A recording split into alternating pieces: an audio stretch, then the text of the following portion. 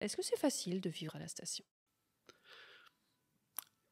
C'est une excellente question. Je pense que c'est facile relativement à l'environnement dans lequel on est. Donc ça, il ne faut pas minimiser.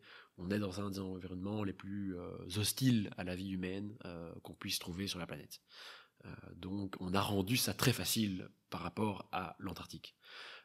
Après, c'est pas non plus une maison de vacances. donc c'est sûr qu'on a des horaires assez, assez fixes. on a des tâches de la vie de tous les jours.